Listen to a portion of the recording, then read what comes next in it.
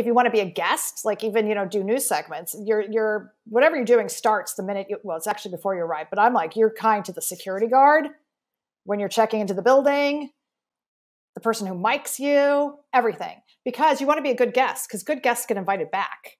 That's yep. the win, right? Yeah.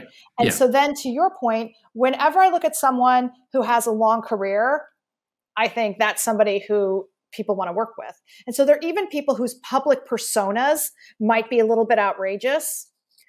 But if they consistently work, that means that they are really professional in ways that it matters.